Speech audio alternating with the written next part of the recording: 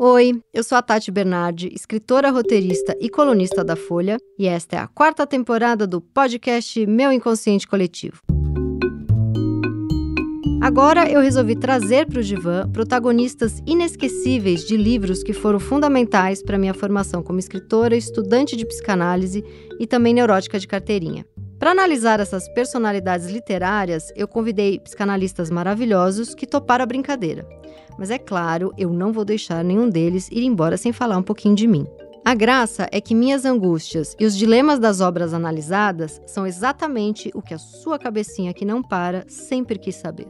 E hoje eu converso com o Daniel Cooperman. Ele é psicanalista, professor do Instituto de Psicologia da USP, presidente do Grupo Brasileiro de Pesquisa Sandor Ferencs e autor de vários livros com destaque para Por que Ferencs, pela editora Zagodoni a gente vai falar sobre o livro O Lobo da Steppe, de Hermann Hesse.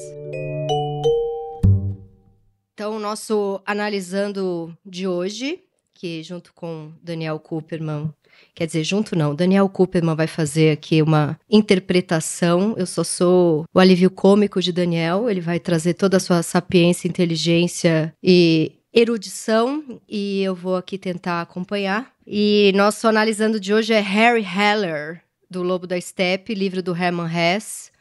O livro é brilhante, é um dos melhores livros que eu já li. Mas o que eu senti foi bem diferente. Quando eu li aos 20 anos, eu enlouqueci. Eu sou rara, eu sou do teatro mágico, eu sou louca, eu sou especial. E agora eu li e pensei, meu Deus, é, não à toa é um livro que jovens amam tanto, né? Porque tem essa necessidade é, egocêntrica de você ser muito especial. Bom, eu tenho isso a cada meia hora, né? O meu jovem volta. de formas é, estranhas ao longo do dia. Mas eu fiquei pensando muito nessa, nessa arrogância que, na verdade, é um, um medo louco de pertencer ao mundo e sofrer. Antes de deixar Daniel falar, eu quero só ler um trechinho que, para quem ainda não leu esse livro, é um trechinho que resume bem o livro. Está na página 61 da versão que eu tenho, que é da Record. Eu vou ler aqui. O lobo da steppe vivia, segundo seu próprio entendimento, inteiramente à margem do mundo convencional, pois não conhecera nem a vida de família, nem as ambições sociais.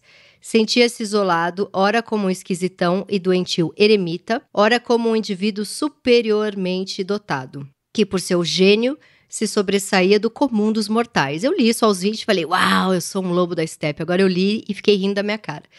Desprezava conscientemente a burguesia e vivia orgulhoso de não pertencer a ela. Contudo, sob muitos aspectos, vivia inteiramente como burguês, que é o clássico com 20 anos todo mundo tem um cartazinho do Che Guevara na sala, né? E que com 40 a gente pode rir disso também. Tinha dinheiro no banco, ajudava alguns parentes pobres, vestia-se sem cuidados particulares, mas de maneira decente e sem chamar a atenção.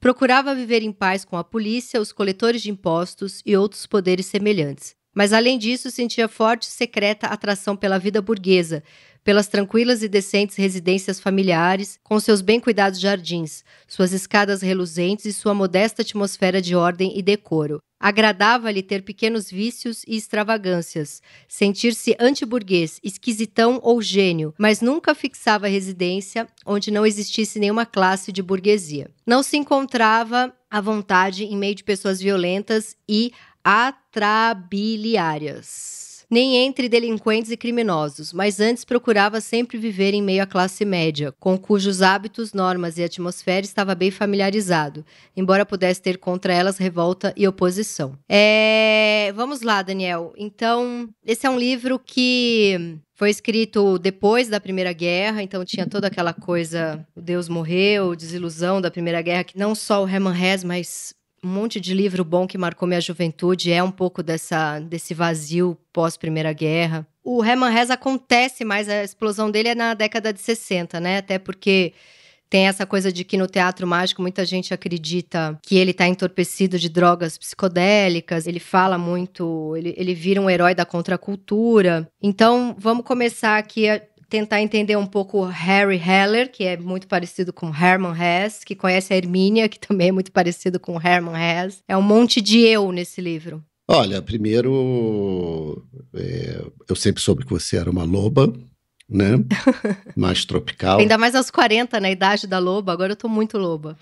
e, e, na verdade, eu queria começar te agradecendo a oportunidade de ter relido esse livro, né? Eu não me lembro exatamente com que idade eu li, mas deve ter sido próximo ali, né? Dessa idade que você também leu, eh, em torno aí dos 20, né? 20 anos. E, de fato, tem uma pegada bem adolescente, né? Quando você fala da arrogância do livro, a arrogância de se sentir muito especial, né? Agora, eu uhum. queria, é, essa introdução que você fez sobre arrogância, é, eu queria defender essa arrogância. Ai, defenda, porque eu estou precisando muito que a gente defenda um pouco a nossa arrogância. É, porque, veja, eu me lembrei muito do Winnicott, né? O Winnicott, esse psicanalista espetacular, né, inglês, uh, do século passado, né? Século XX, o Winnicott dizia assim: nós temos inveja dos adolescentes, nós adultos. Sim. Né? E que para tratar, sobretudo quando ele se dirige aos psicanalistas, ele fala para tratar dos adolescentes é preciso que a gente é, recupere algo da nossa adolescência, senão nós vamos uhum. sucumbir à inveja. Então, assim, nós temos inveja do adolescente porque o adolescente tem uma arrogância, né? Ele tem uma ilusão de onipotência que é fundamental para ele acreditar que pode construir né, uma vida digna, uma vida singular, né, que ele não precisa se submeter aos imperativos sociais de uma maneira submissa. Né? Uhum, então, uhum. assim, eu faria uma defesa dessa arrogância. Agora, claro, né, o Hermann Hesse, quando escreve o livro, não é exatamente um adolescente. O personagem tem quase 50 anos, inclusive, quando ele está combinado com ele mesmo que aos 50 ele vai se matar, então é um, aquele clássico que se agarrou nessa arrogância para se proteger, de certa forma. É, ali ele tem uma. para fazer. Porque é curioso, né? O livro é um livro muito crítico, né? Interessante que nos anos 60 com toda a, a, coisa do prêmio Nobel né, de literatura, é, que o Hermann Hesse ganha e o livro é recuperado né? Então, nos anos 60, você lembrou essa questão toda psicodélica, né? O final do livro é o teatro mágico, né? Só para os raros, só para os loucos, eu amo isso. É, para os loucos, né? Uma, uma então, um elogio da loucura, né? Mas um elogio da loucura também como uma é, é, essa possibilidade de pensar fora da caixa, uhum. né? E para fazer a crítica da burguesia, é uma crítica forte, né? Que o Hermann Hesse faz é, é preciso uma certa arrogância, né? Porque arrogância também nos dá coragem para tentar pensar fora da caixa. Não é fácil, né? Você sabe muito bem disso. Tem uma passagem espetacular, né? Que ele diz, é, tem um momento em que ele está já desesperado e ele reencontra um amigo que é um professor, né? Um professor de teologia, o um professor com quem ele já havia discutido anos antes assuntos e o professor fala: Nossa, como você me ajudou naquela época, né? Me falando da Índia. É, e o Lobo da Steppe é escrito um pouquinho depois do Siddhartha, né? Ele estava ainda. Ele tinha ido, Hermann Hesse tinha ido à Índia, né? Aliás, eu queria te dizer que eu, com 18 anos, fui à Índia, passei três meses na Índia, fiz uma viagem assim de mochila. É, para conhecer o Oriente, né? Que incrível, super novinho. É, tem, me marcou muito essa ideia do lobo, né? O amigo me dizia assim: você é um lobo solitário. Aos 18? Ah, você é, ouvia isso aos 18? É, aos 18, um pouquinho depois, né? Muita coisa dos livros, é, se refugiar nos livros, né? E fiz essa viagem para a Índia, mas não fiz sozinho, não. Fiz com, com dois amigos muito queridos. E eu falava então que ele encontra esse professor de teologia, o professor diz: puxa, aquelas nossas conversas eram tão inspiradoras, vem lá em casa. E ele nessa crise, né, dos próximos dos 50 anos, e ele entra na casa do professor e ele começa a ficar muito incomodado, ele vê lá uma foto é, do Goethe muito estilizada, isso começa a incomodar ele, ele diz que o Goethe não era assim, ele vai ficando muito, muito mal, né? E ele sai de lá adoecido, e ele diz assim, né? Nesse momento o Harry se despediu da pátria e da burguesia como alguém com úlcera se despede do leitão assado. Lembra disso?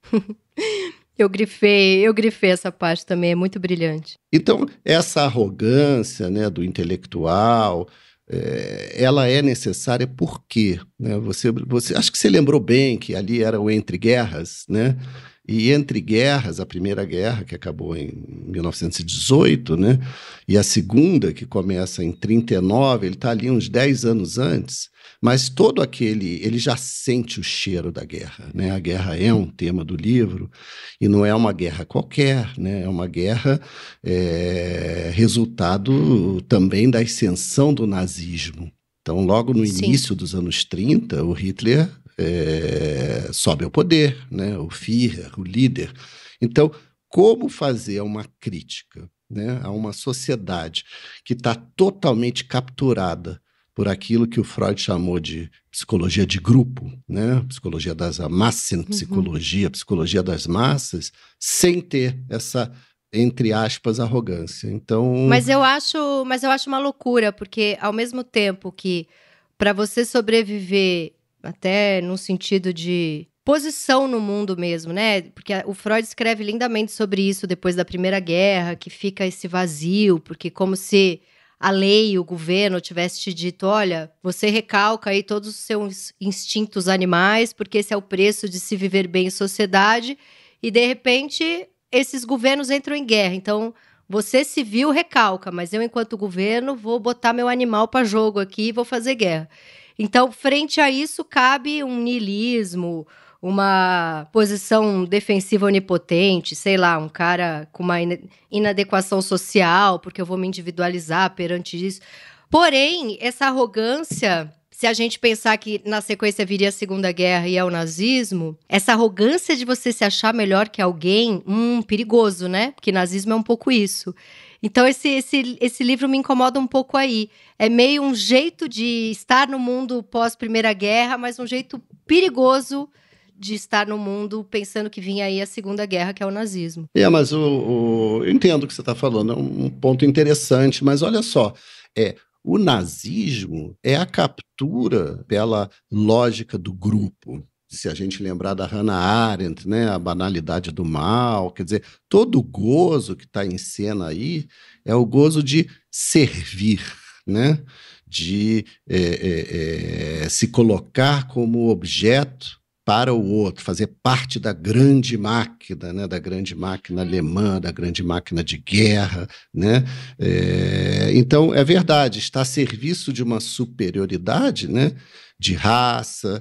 É, no caso, o Harry se colocando como um intelectual crítico, né, que resiste a isso. E ele fala o tempo inteiro, né, que ele é um pacifista, é, é, é interessante. Ele tem um discurso anti-guerra. Ele tem um discurso anti-guerra, mas ele é um pacifista do seu tempo, né, um pacifista que de repente você vê um racismo estrutural fortíssimo na fala dele, um certo preconceito com mulher, ele desdenha um pouco da prostituição, ele fala, ele compara em algum momento ali, mas enfim, não acho que é um livro para ser cancelado. Não, eu acho que é um livro muito, eu acho que é um livro muito atual no Brasil de hoje, né, Tati? Porque primeiro que é um livro de crítica a essa pseudo-superioridade de um grupo em relação a outro. O que você fala do o, o, o racismo estrutural, na verdade, assim, o racismo não era uma questão, parece ali, né, para ele. A questão é mais a, a, misoginia, né, o lugar das mulheres.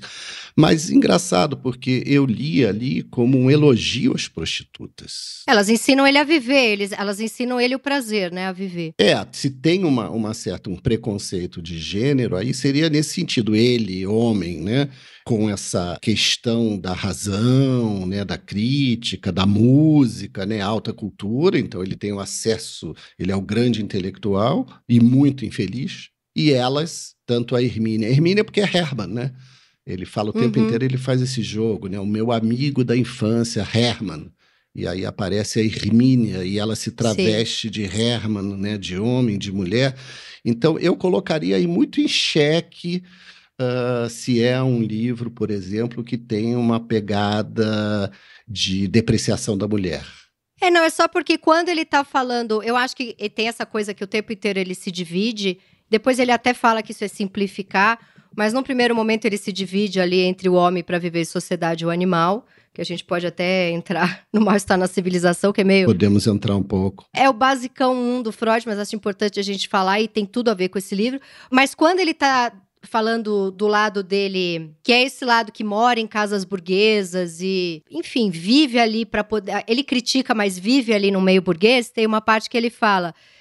Teoricamente, nada tinha em contrário à prostituição, mas na prática não seria capaz de levar uma prostituta a sério ou considerá-la realmente sua igual. Isso é bem no comecinho do livro, mas no fim são essas mulheres que quando ele tá ali querendo se matar, são elas que ensinam ele até a sair desse lugar refinado e solitário e protegidíssimo e poder sentir, né, gostar do jazz, que ele tava ali, sabia que mexia com ele, mas não sabia que nome dá para isso e dava o nome de incômodo. Aí ele aprende a gostar dos bailes e do jazz. Mas vamos entrar um pouco no mal-estar na civilização. Esse livro, o tempo inteiro a gente pensa, né, nesse texto do Freud. Deixa eu só fazer uma. Já que você falou do Freud, né, Tati? Ele me lembrou um outro livro do Freud que é sobre a gradiva de Jensen. Né? Uhum. Que porque a gradiva é, é, na verdade é uma cura pelo encontro, né, de um homem doente com uma mulher. Então são livros dessa época, né? Que é muito curioso porque aqui também o Harry ele é, né, de certo modo curado por uma mulher, no caso a prostituta, né, que é a Hermínia e a Maria, que seria né, a outra com a qual ele aprende os prazeres da carne, né, e a Hermínia que uhum. chamaria ele, seduziria ele para uma outra perspectiva de mundo. Mas essa ideia de, da cura pela mulher, né, pelo encontro com uma mulher, muito interessante isso. Lembrei da Gradiva, você está falando do mal-estar, né?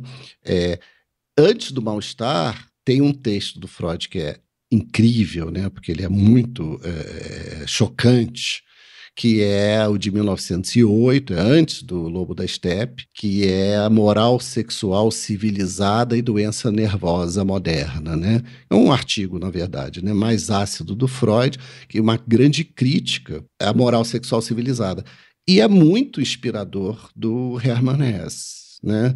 O Mal-Estar é de 1930, quer dizer, o Hermann Hesse não leu o Mal-Estar, não teve acesso. Né? Eu suponho que ele leu Moral Sexual Civilizada e Doença Nervosa Moderna, que é justamente isso, né? a crítica a que, que é a moral sexual civilizada, né? Heterossexualidade, né? As, as obrigações, né? Do, do, sujeito lá vitoriano. Então ele tem que ser hétero, né? Ele tem que ser monogâmico, casado e de preferência procriar, né? Então a sexualidade ela tomada pela questão da procriação, né, da heterossexualidade consequentemente e da monogamia, que você pode procriar uhum. sem ser monogâmico, mas a cultura vitoriana, é né? a família família do família idealizada pelo Bolsonaro. É a família burguesa, né, que o tempo inteiro ele cita, É a né? gente do bem. claro que você foi irônica, né? Mas é assim, a gente do bem, ela é muito segregadora, né? Problema é esse. Muito. Que se você não compartilha desses ideais, você é segregado. Se você compartilha, você é muito bem recebido. Então, tem uma passagem que eu quero lembrar aqui para você também, que é espetacular, né? Quando ele faz toda uma. Esse, ele fala do lobo, né? Você estava falando do lobo, eu vou chegar lá no mal-estar, né? Mas ele fala do lobo e, e, e, tem algumas poucas definições, assim, do lobo da estepe muito precisas, né? Que talvez valesse a pena a gente recuperar. Mas tem uma que ele fala, assim, do desejo de destruir. Então, ele fala é, cometer loucuras temerárias é, arrancar a cabeleira de alguns ídolos, né, venerandos, violar uma jovem, imagina, né, que coisa politicamente incorreta, né? Sim. Olha só, torcer o pescoço de algum defensor da ordem e da lei. Só que aí chega um momento que ele faz uma formulação é, espetacular, nunca tinha me passado isso pela cabeça, né? E diz assim: o que eu odiava mais profundamente era aquela satisfação, aquela saúde, aquela comodidade, esse otimismo bem cuidado dos cidadãos, essa educação adiposa. Achei maravilhoso isso. É né? maravilhoso. Educação adiposa e saudável do medíocre, do normal, do acomodado. É o que você falou, né? O homem de bem. Mas esse é o texto daquele primeiro texto, que é uma brincadeira que é o editor dele observando o lobo da steppe? Ou esse é o, o Harry Heller falando? É ele próprio. Porque o livro tem três partes, né?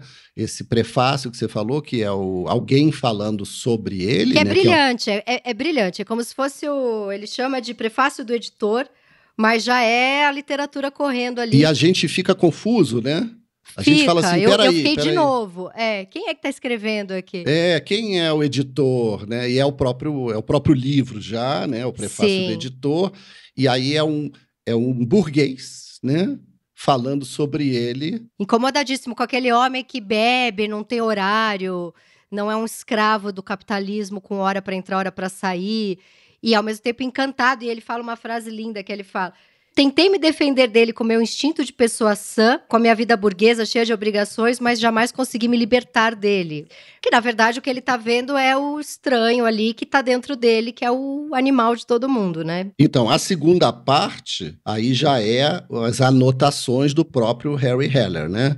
Que é Sim. só para loucos. Então, essa passagem da educação adiposa é, é ele próprio, né? O Harry Heller é, falando. É, educação adiposa é incrível, né? Porque é uma figura, uma metáfora tão forte para falar da, dessa acomodação, dessa falta de elan vital, quer dizer, essa Uhum. submissão à moral vigente. Né? Eu achei incrível, né? Eu fiquei pensando numa pancinha cheia de sapos que a gente engole ao longo da vida, que vai fazendo essa educação adiposa. Uhum.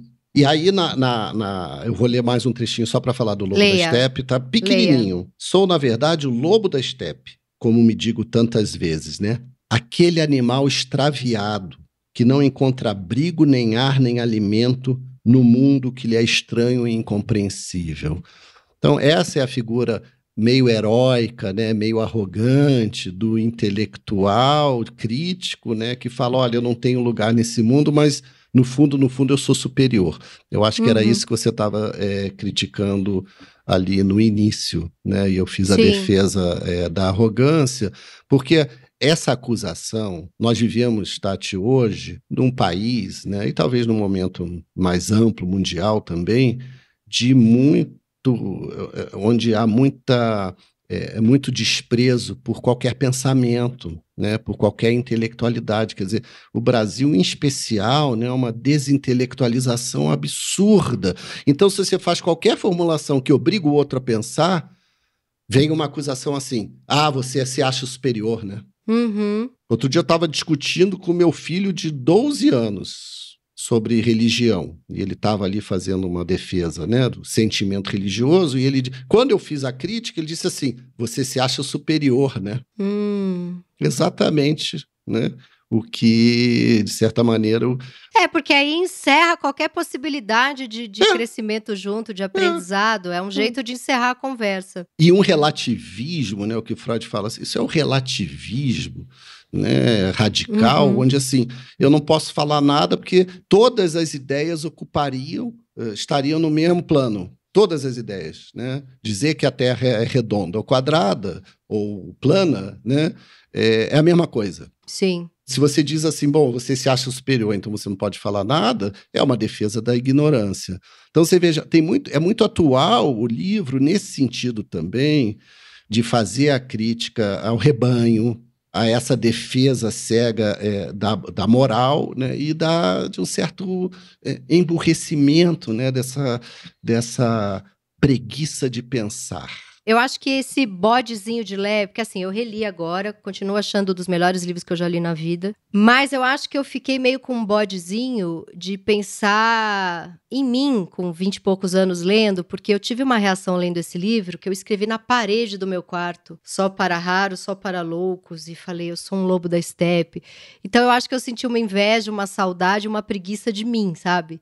E não do livro em si. O livro é, é muito brilhante. É, mas é, sabe por quê? Tem uma hora que era assim, era uma saudades da normalidade, né? Eu me lembro de uma conversa Sim. nessa, nessa época, né, de adolescência com uma amiga, e ela dizia assim: "Nossa, eu quero ser diferente de tudo e todos". E eu dizia assim: "Nossa, como eu queria ser igual e não posso". Não consigo. Maravilhoso. Talvez esse bode que você esteja falando é um pouco isso, né? Dá tanto trabalho a gente se singularizar. Eu acho que tem uma virada na vida adulta, que é aquele momento. Cara, eu sou só mais um, sabe? E é tão horrível cair essa ficha. Eu tava vendo o documentário da Anitta. E olha onde a Anitta chegou. Eu acho que a Anitta tem uma sociopatia do sucesso, assim, sabe?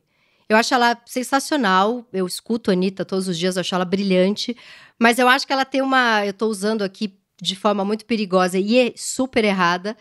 Mas é uma piada que eu faço apenas para mim, jamais levaria isso a um podcast, né? Então, você que tá ouvindo isso não está ouvindo isso. Mas assim, eu acho que ela tem uma loucura de que em algum momento ela acreditou, eu sou rara pra caramba, eu vou fazer sucesso, eu vou ser top 1 no mundo. E ela acreditou tanto nisso que ela fez. Eu acho isso muito foda.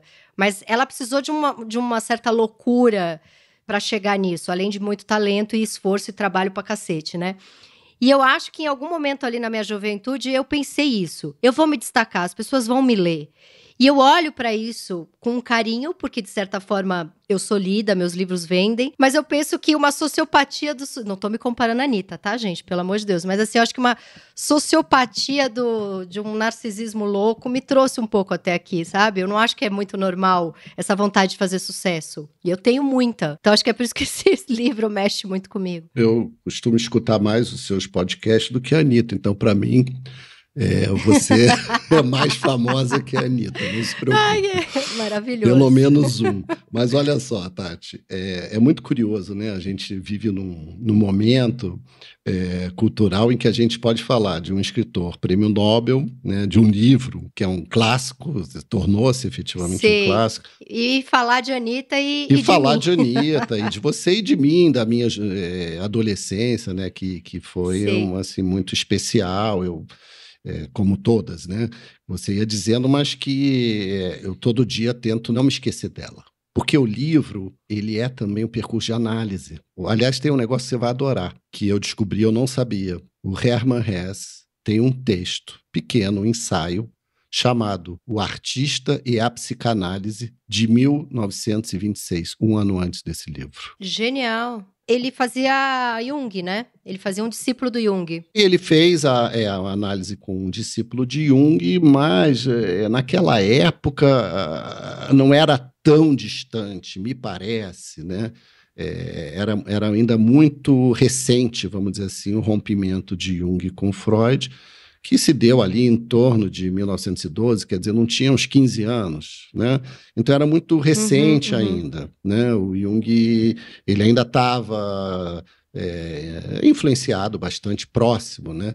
Até 1912, o Jung foi, se eu não me engano, presidente da Associação Psicanalítica Internacional. Freud escolheu o Jung, né? Para ser o presidente.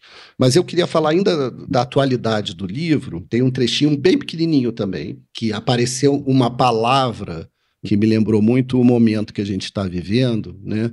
Ele diz assim: quem quiser música em vez de balbúrdia, olha, balbúrdia é uma palavra que foi usada né, para falar do que, que se passa no, nos campi universitários. Né? É um reacionário, é um tiozinho reacionário. Então, quem quiser música em vez de balbúrdia, alegria em vez de prazer, alma em vez de dinheiro, tem toda uma crítica ao capitalismo já naquele momento, uhum. né? Verdadeiro trabalho em vez de exploração, tem uma pegada bem de esquerda também nesse livro, apesar dele ser, né, se identificar com valores burgueses, né? Verdadeira paixão em vez de jogo, não encontrará guarida nesse belo mundo. Então ele diz assim, não é o mundo Sim. que ele quer viver, né? não é o mundo que ele gostaria de viver.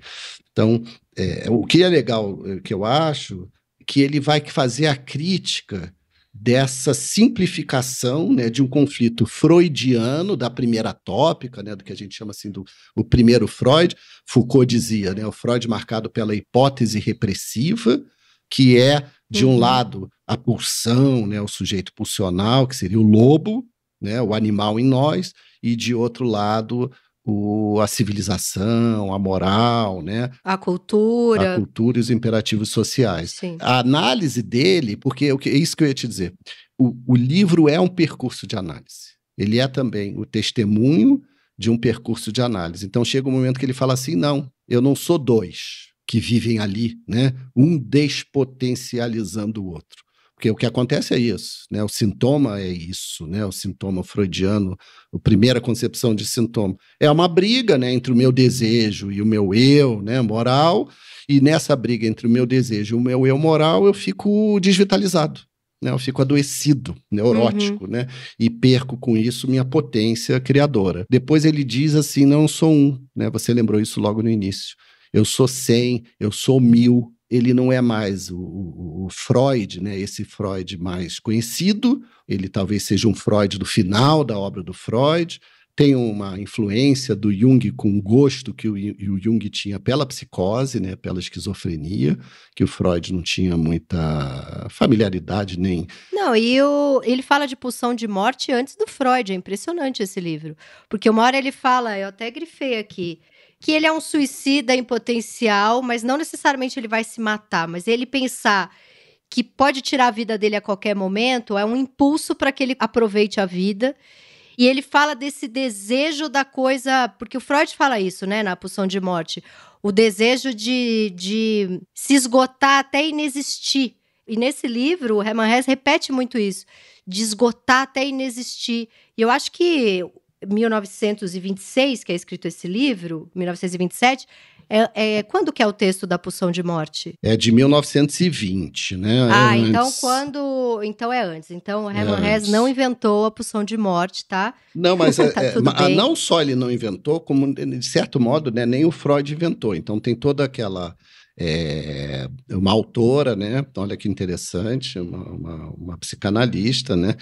Que é a Sabina Spielheim. É verdade. Uhum. Na minha edição da Record, tem um prefácio do Ivo Barroso, que é o tradutor do livro e que conhece bastante né, a obra do Hess. E ele fala que foi difícil ele ganhar esse Nobel, porque o livro era considerado também um livro muito perturbador. Aliás, eu ia te perguntar, é, nunca falaram que esse livro era um livro usado por jovens suicidas, um livro perigoso que poderia ter levado jovens a se matarem? Eu fiquei com essa dúvida. É, não tanto isso, né, como outros livros, né, o, o livro do Goethe, né, o o Apanhador no Campo de Centeio, né? É, outros livros que foram mais. Porque a, a, parte do suicídio é pequena, né? não é o, a, uhum. a, tônica. A tônica maior seria o teatro mágico como apologia às drogas. Né? Tanto que o Hermann Hesse, em 1961, faz um pós-fácil, lembra? Pequeno, para dizer. Olha que interessante como ele termina, né? Esse livro aqui, essa história, embora relate enfermidade e crise, não conduz à destruição e à morte, mas ao contrário, à redenção. É, isso é lindo. Uhum. Esse jogo, ele precisou fazer esse pós-fácil, né? E o Herman Hesse fala que é um livro sobre quem crê. Ele, ele diz isso também, né? Não é um livro de quem desistiu, é um livro de quem crê. Eu li isso em algum lugar, alguma entrevista que ele dá depois. Quando o Winnicott fala da tendência antissocial, que é muito própria de uma certa juventude, ele diz: aquele é, adolescente, que, ou a criança, mas principalmente o adolescente, que expressa tendência antissocial, quer dizer, que, que ataca, destrói, tem uma certa certos atos delinquentes, ainda que não seja a delinquência propriamente dita, ele diz: esse jovem é movido pela esperança. Ele quer uhum. encontrar um sentido. Que lindo. Né? Ele não desistiu, ele quer encontrar um sentido. A frase correta que o Herman Hesse fala é: não é um livro de um homem em desespero, mas de um homem que crê. Então, é esse jogo, não porque é o jogo né, que você marcou é, é, é da pulsão de morte entre destruição e criação. Isso está, uhum. inclusive, no, é, é, inspira o pensamento anarquista também. Né? A paixão da destruição é uma paixão criadora, né? se não me engano, é do Bakunin essa frase. Mas a Sabina, ela foi paciente do Jung. E eles tiveram um caso tórrido. Sim que deu margem a filmes, né? Quer dizer. Ela era uma histérica, né? Mas ela quando chegou, foi tratada pelo Jung, ela estava em franco surto, né, psicótico. Uhum. Naquela época, as histéricas eram muito é, graves, né? Então elas uhum. tinham é, manifestações é, psicóticas. Não, eu não, não, sei se eu afirmaria que ela era puramente uma histérica, né? Ela estava em franco surto e ela cria então, ela inspira o Freud a anos depois a escrever sobre a pulsão de morte. Qual que é a Sabina? É porque o Freud chama ela de caso o quê? Ela é caso qual? Porque não é Sabina o nome. Não, não, ela, ela o Freud não tratou a Sabina, né? Ele, quem tratou foi o Jung. Jung. Mas ele tenta mandá-la para o Freud em algum momento, não? quando ele está se envolvendo muito. É, eu não, não, não, aprofundaria muito aqui essa questão, né? Era mais para lembrar que a temática da pulsão de morte era uma temática desse início de século. Uhum. E é, década de 1910, né, final da década de 1910, Aí começa a guerra. A guerra trouxe a Primeira Guerra Mundial, de 14 a 18, né? É considerada, por muitos, também uma inspiração para o Freud formular em 1920, quer dizer, dois anos depois do fim da guerra, a pulsão de morte. Porque aqueles soldados, eles tinham uma, uma repetição de os sonhos, né? Ficavam sonhando muito com a guerra e ele entende que aquilo ali tem uma repetição que não é pelo prazer, né? Que é uma repetição. É uma tentativa, né, de, de, de elaborar uma experiência traumática que vai retornando, né? É uma manifestação também movida pela pulsão de morte, né? Mas o Freud tem um texto muito crente, vamos dizer assim, muito otimista, que é escrito durante a guerra. E foi uma guerra, primeiro, de muita destruição, né, também, foi uma guerra na qual o Freud tinha filhos convocados né, pelo exército. Uhum. Então, é muito angustiante, quer dizer, o trabalho acabou, uh, algo próximo, assim, a experiência que algumas pessoas tiveram na pandemia, né? De repente, a vida normal, ela, ela tem um parênteses, né? E aí uhum. ele fica sem trabalho, fica sem acesso a, até a comida, né? Ele teve ajuda dos discípulos, né? De outros lugares, porque a Áustria ficou muito combalida, né? Com a guerra. Então, ele escreve um texto que chama-se, né, lindíssimo, que é um texto poético, A Transitoriedade. Uhum. É maravilhoso esse texto. Maravilhoso, ali em 1916 ou 17, e nesse texto ele termina dizendo isso. Porque ele a grande perplexidade era como que uma cultura tão elevada, quanto à cultura né, alemã, e ali a Áustria, Império Austro-Húngaro, né, de língua alemã, como que essa cultura pode ser tão destruidora. Uhum. A mesma cultura de Goethe, de Kant. Que fazia ele se sentir essa pessoa superior, né? Que tem muito a ver com esse livro. A cultura, né? A grande uhum. cultura, exatamente. Quem que ele cita, né? Ele cita os compositores, né? Mozart, ele cita Mahler, ele cita Goethe, né? Uhum. É, e, num certo sentido, ele não cita, mas está ali com Freud, né? Também na crítica a essa alta cultura. Mas o que, que o Freud fala ali? Ele diz assim tudo isso que foi destruído será reconstruído em termos melhores. Nossa, é, é um excelente texto para a gente reler esse ano. É porque é um passeio, né? Um passeio pelos Alpes, onde ele fala, ele está acompanhado, ele não cita o nome, mas ele está acompanhado do Rainer Maria Rilke, o poeta, né? Uhum. E da Lu Salomé, uhum. que tornou-se psicanalista. E ele diz assim: Eu não consigo desfrutar, fruir dessa beleza, porque tudo isso vai ser destruído com o inverno. Né? Quando o inverno chegar, essas flores todas uhum. vão estar mortas. Ele diz assim: é, tudo é transitório, tudo passa. Gente, Freud, momento Buda. Maravilhoso. É, é, é, raro esse momento Sim. do Freud. Aliás, né? eu queria abrir um parênteses aqui, porque tem tudo a ver com o que a gente está falando do Hermann Hesse indo para a Índia, Daniel Cooperman indo para a Índia, Freud falando que tudo é transitório. Eu acho fantástico pessoas que procuram que leem Freud, que tem todo esse apreço pela neurose e pela cabeça que fica ali formulando, pensando, estudando, criando, e que ao mesmo tempo tem essa abertura para a natureza. O Hermann Hesse era esse cara, inclusive ele era, ele pintava a natureza, né? Ele fazia poesia sobre natureza, escreve Siddhartha, então ele tem essa busca interna muito forte relacionada a corpo também. Natureza que eu estou dizendo não só a externa, mas o, o nosso corpo. Porque eu costumo dizer que eu sou uma pessoa que vive dentro da minha cabeça. Eu fico o dia inteiro pensando, o que eu gosto mesmo é de sentar aqui no meu escritório, se deixar ficar 20 horas aqui lendo, estudando, escrevendo, criando coisa. E esqueço que eu tenho que comer, esqueço que eu tenho que dormir, esqueço que eu tenho que fazer uma ginástica. Daí o meu corpo me avisa, começo a ter uma dor enorme ou uma enxaqueca. Então eu acho fantástico quem consegue ir pro corpo, sabe? Uhum. Eu acho isso difícil, eu acho muito difícil. É, o, corpo, né, e a natureza. O Hermann Hesse tem, ele é, ele é afiliado ao movimento romântico, né, o chamado uhum. romantismo alemão.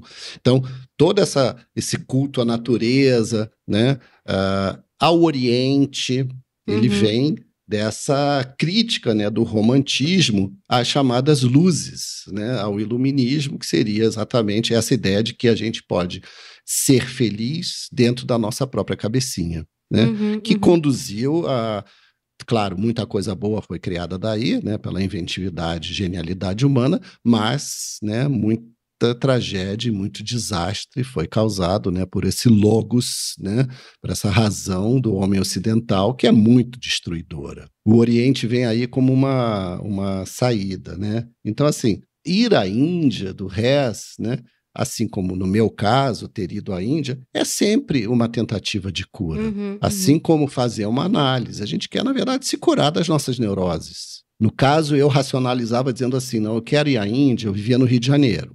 E me incomodava muito a pobreza. Uhum. Quer dizer, eu uhum. vivia em Copacabana, é, de frente para o mar, e, e na rua de trás tinham famílias de rua já. Uhum. Isso no, no, no, nos anos 80, não estou falando de agora, pós-pandemia. E, e, então a Índia ela acenava como, vamos de um lado, né, quase que uma cura homeopática, ver a pobreza de verdade, né? Como se lá fosse então eu, eu pudesse me imunizar frente a esse mal-estar, que não era só a pobreza, né? era a pobreza e tudo que isso implica, quer dizer, todo um sistema né, de, de produção de desigualdade, de segregação, e de pouco valor à vida que atravessa de cabo a rabo a cultura brasileira. Sim. É, aí eu volto da Índia e vou fazer o quê? Né? Eu vou fazer minha análise. Quer dizer, na época, imagina, eu ia estudar engenharia. Eu tinha passado no vestibular, tinha feito um ano de engenharia na UFRJ. E aí mudou a minha vida, essa viagem mudou a minha vida, né? Eu me lembro que a minha avó dizia para mim assim: "Nossa, essa viagem te estragou". Bem na linha Lobo da Steppe. Né? Maravilhosa. Né? É, essa viagem te estragou. Cadê sua ambição? era muito engraçado, mas era, era. Você imagina como era sofrido isso, né? Sim. Agora, alguns autores do campo psicanalítico tiveram mais, maior atenção, porque o Freud não podia dar conta de tudo, né?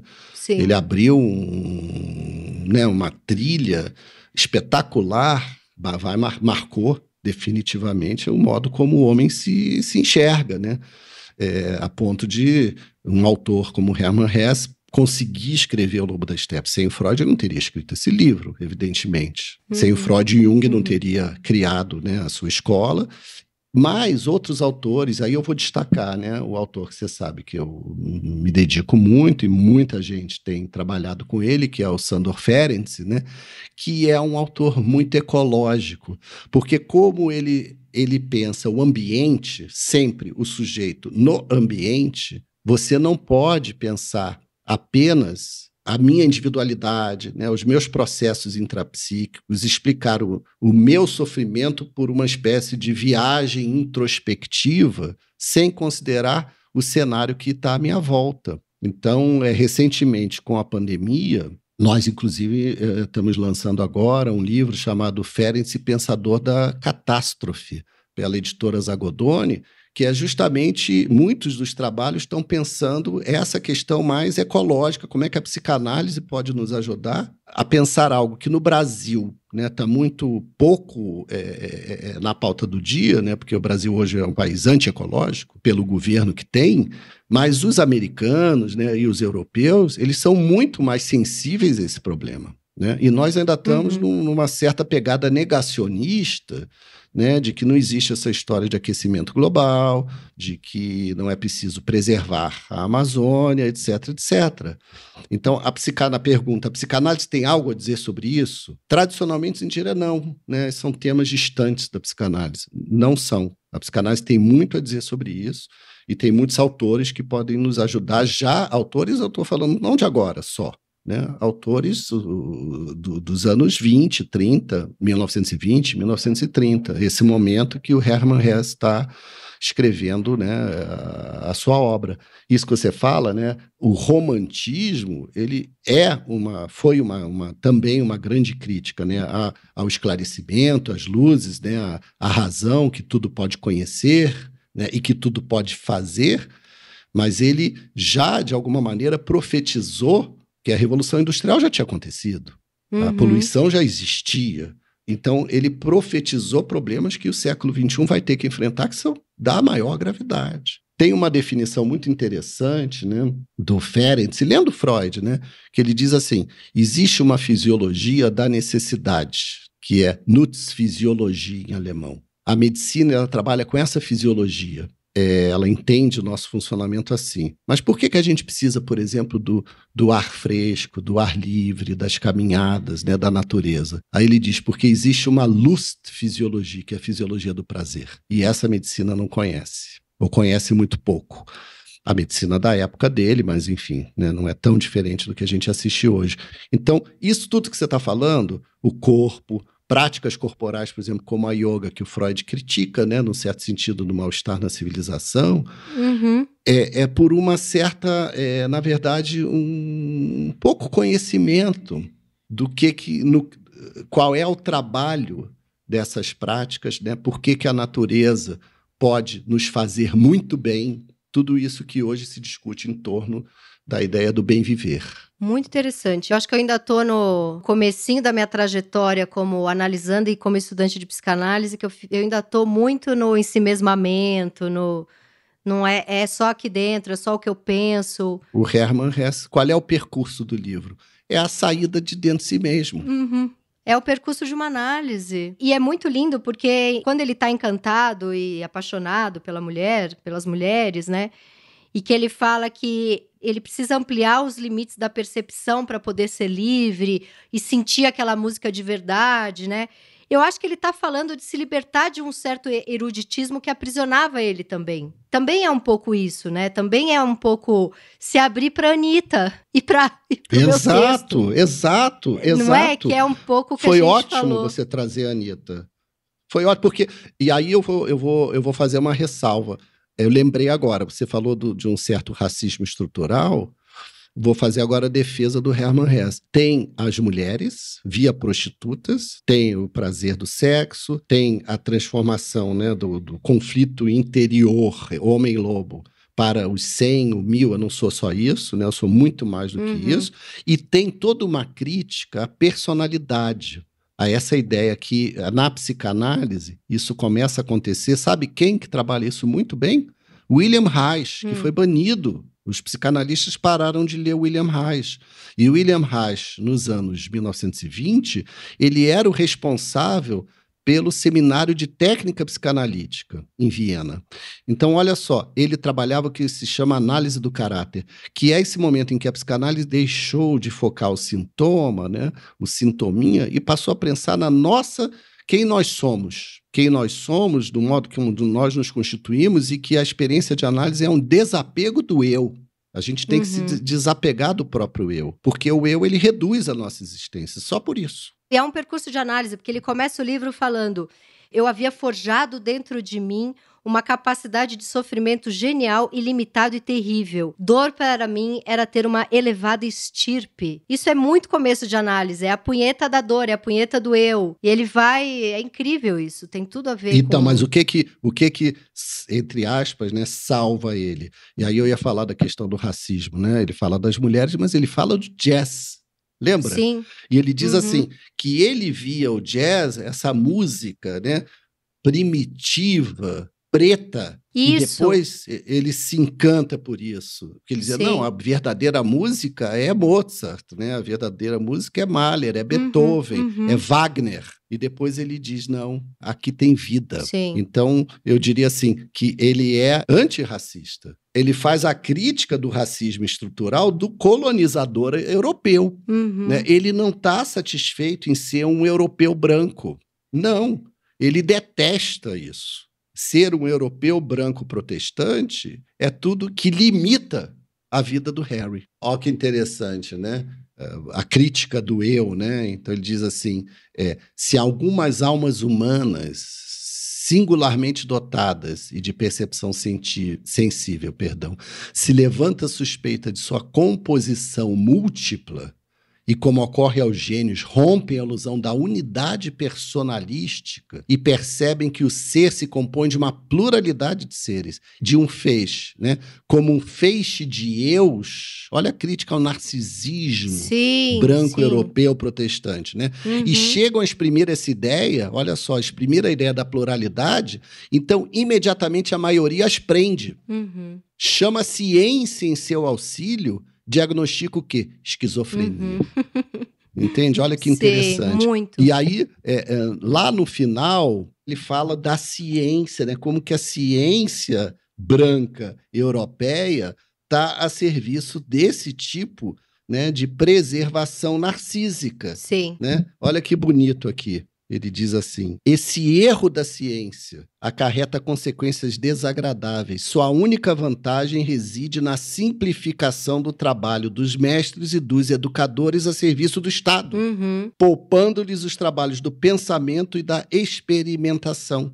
Em resumo, dá pra continuar amando o Herman Hesse loucamente. Esse é, esse é o resumo. E o elogio à loucura né, foi retomada depois pela filosofia da diferença francesa, Deleuze e Guattari, com anti-édipo. Essa crítica a uma certa leitura da psicanálise que, de alguma maneira, é, acaba reificando o narcisismo em vez de Combatê-lo. Né? Porque o, o Freud é um autor que, de crítica, ele formula o narcisismo para mostrar o quanto o narcisismo É que o capítulo do narcisismo é tão bem escrito, é tão literário, que parece uma ode ao narcisismo. De tão brilhante que é, né? Pois é, mas a, a gente, para sermos analistas, né, a gente precisa se colocar né, para escutar o outro, transcender, né, transpor essa, essas barreiras narcísicas. Sim. Então eu fico assim, é preciso fazer justiça, né, à psicanálise e não deixar também ela ser rapidamente, né, associada a uma espécie de, de disciplina, né, branca, europeia e Uhum. reducionista, porque ela é que abriu, me parece, né, as portas para a gente pensar a multiplicidade do, da subjetividade. Maravilhoso, Daniel. Para a gente encerrar aqui, eu queria entrar na página 65 dessa. Eu tenho a edição da Record. Ele fala do humor, é, mas os outros, os que permaneceram submissos, a cujo talento a burguesia concede com frequência grandes homenagens, a este se abre um terceiro reino, um mundo imaginário, mas soberano, o humor. Eu quis trazer isso porque eu escrevo e você também escreve sobre o humor. Aliás, você leu o meu. Você chegou, teve tempo de ler? Li, maravilhoso. Não é o Harry Haller do século XXI É ali? total. E esse nome é muito bom. Isso, como é que fala isso? Schadenfreude. Schadenfreude é, é a alegria com a desgraça alheia, né? É Uhum. um conto que eu escrevi durante a pandemia, no passado, para ser mais exato, 2021, a convite da AP Brandão, Ana Paula Brandão, que organizou esse livro Desmascarados, que foi editado pela Patuá, né, com contos da pandemia. Esse é bem narcisista. Ele acha que tá junto com a Covid matando todas as pessoas que ele detesta, né? Começa pela sogra. É maravilhoso o conto. Mas é, o- é, é, é lobo da steppe, porque, primeiro que ele fala né, do lobo da steppe, é aquilo que muitas pessoas pensaram, né? E não sabe que pensaram algumas. Que é assim, pô, já que tá Sim. tanta gente morrendo, por que, que não morrem meus inimigos? Né? por que, que Isso, não é morrem meus bom desafetos, né? É, aí, só terminar a frase aqui, ó. Aos inquietos lobos da estepe, a esses contínuos e terríveis pacientes, ao que está negado o apoio necessário para o trágico. A este se abre um terceiro reino, um mundo imaginário mais soberano, o humor. Aí ele fala: o humor é sempre um pouco burguês, embora o verdadeiro burguês seja incapaz de compreendê-lo. Essa frase é maravilhosa. Somente o humor, a magnífica descoberta dos que foram detidos em seu voo para o mais alto, dos quase trágicos, dos infelizes superdotados, só o humor talvez o produto mais genuíno e genial da humanidade, atinge esse impossível e une todos os aspectos da existência humana nos raios do seu prisma. Viver no mundo como se não fosse o mundo, respeitar a lei e, no entanto, colocar-se acima dela. Possuir uma coisa como se não a possuísse. Renunciar como se não se tratasse de uma renúncia. Todas essas proposições favoritas e formuladas com frequência. Todas essas exigências de uma alta ciência da vida, somente pode realizá-las o humor. Que coisa mais linda que ele fala, né, do humor. Olha só que coisa incrível, Tati. O, o texto do Freud sobre o humor, claro que ele em 1905 escreveu os xixes e sua relação com o inconsciente, Sim. né? Mas em 1927, que é o ano desse livro, Uhum. o Freud publica o humor, um, um artigozinho de seis páginas, né? E esse, essa concepção de humor é a que o, o Hermann Hesse traz, né? Isso que você trouxe. Eu discordo um pouco da ideia inicial de que o humor é sempre burguês? Eu não sei o que, que, você entende- que que você entendeu disso. Sobretudo no Brasil. Mas no final, Porque eu acho que ele diz assim: ele fala de humor de duas maneiras no livro. No início, ele fala desse humor burguês, seria assim: é uma maneira de você fazer uma crítica né, à sociedade sem de fato se comprometer com a mudança. Mas no final, no teatro mágico, olha o que, que ele fala que interessante. Já no teatro mágico, finalzinho, né? Eu vou terminar aqui. Ele diz: você está numa escola de humor, tem que aprender a rir mas todo verdadeiro humor começa quando a pessoa deixa de levar-se a sério. Isso é o, o, último Freud, quer dizer, o humor é rir de si mesmo. Por quê? Porque o rir de si mesmo é a operação transnarcísica. Quer dizer, é quando eu deixo de, uhum. de amar o meu próprio eu, né? demais. Gente, eu, tô, eu sou super transnarcísica, eu tô muito feliz. Acho que eu vou até tatuar transnarcísica. A palavra? Eu tô achando porque assim, eu passei essa nossa. Não, que eu passei essa conversa inteira falando, gente, eu tô no começo da minha análise. E agora que eu lembrei que eu, dou, que eu fico me sacaneando nos textos, eu me achei super transnarcísica. E tô feliz, mas pode mas continuar. Mas você transforma, né? É, é, mas é muito paradoxal, porque é o que você falou, né? Você é transnarcísica, ao mesmo tempo faz o culto de você, mas você, Sim. ao fazer isso, deixa de ser quem você era. Você se transforma com isso. É diferente do culto ao eu estático, à personalidade. Eu faço o culto, eu faço o culto do eu em movimento. Exatamente. Essa, essa nossa conversa está me dando várias frases para tatuagem, Daniel. Pô, você vai ter que ter um, você vai ter que é, crescer, aumentar teu corpo, né? Eu vou ter que aumentar aqui, ó, o culto do eu em movimento. Gente, isso é bonito demais. Daniel, eu não sei, eu não sei o que fazer com você. Você é muito inteligente, a gente vai ter que fazer um podcast junto. Você que é muito generosa, você que é muito generosa e carinhosa com as palavras. Você vê como é, né? A gente chama uma pessoa de inteligente e ele devolve dizendo: "Você que é legal". Tudo bem? Mas não olha tem só. problema, a gente segue Tati, aqui o jogo. as ideias, as ideias são como a terra, pertencem a quem as trabalha, as trabalha, perdão, frase maravilhosa do Gregório Barenblit, que faleceu recentemente. Maravilhosa. É, Maravilhosa. as ideias surgem numa entrevista, por exemplo, numa conversa, elas não têm dono. É verdade. Elas são é, incitadas, né?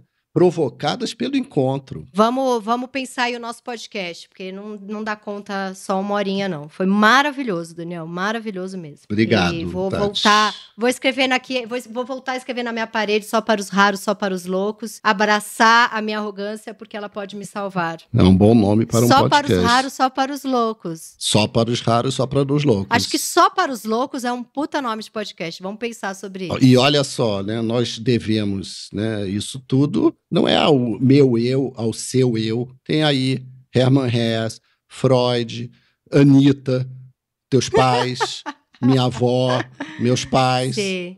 Tudo, tá todo mundo aí junto. É incrível. E ao querido ouvinte, é isso. Muito obrigada, Daniel. Arrasou como sempre. Maravilhoso. Este foi o meu Inconsciente Coletivo, o podcast para onde a sua neurose sempre vai querer voltar. Eu sou a Tati Bernardi e a edição de som é da Zamundo Studio. Escute o seu inconsciente e siga a gente para não perder nenhum programa. Até a próxima temporada!